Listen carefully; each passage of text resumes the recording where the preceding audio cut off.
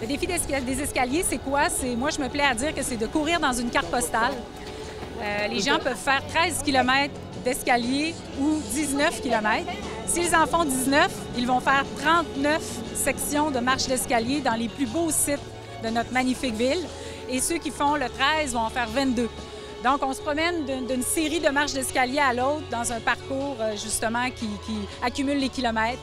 Mais euh, voilà, ça, demande, euh, ça demande une bonne force. Les coureurs me le disaient tout à l'heure, plusieurs me l'ont dit, ce n'est pas du tout la même chose que de courir en ligne droite.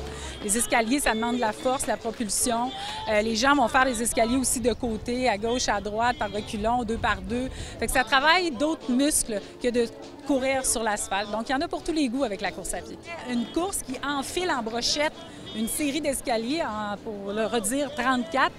C'est quand même assez unique d'avoir une ville qui a autant d'escaliers et puis de les mettre en valeur dans une épreuve. Et ça fait, c'est la neuvième édition cette année et l'engouement euh, ne cesse de croître. Euh, on a encore un très, très belle, une très, très belle participation cette année, accrue encore une fois. On a atteint les objectifs. Donc, on pense que le, potentiel de développement de cet événement-là est énorme. Ça a été très, très, très agréable. le plaisir de découvrir Québec encore une fois, les escaliers, les, angles de vision à chacune des fois, fantastique. C'est à, souhaiter à, tous. Première expérience pour, euh, pour vous, plus dur que vous pensez ou c'était pas mal à ce que vous attendiez? Je, la m'étais pratiqué là, un mois, j'étais venu la faire, donc je savais à quoi je m'attends. Je m'étais trompé de trois places, je m'étais imprimé le plan, mais non, ça a très bien été. La chaleur aussi, il y a des points d'eau euh, quand même. Euh, de façon euh, des belles places. avec les petites douches qu'ils nous donnent aussi, c'est parfait.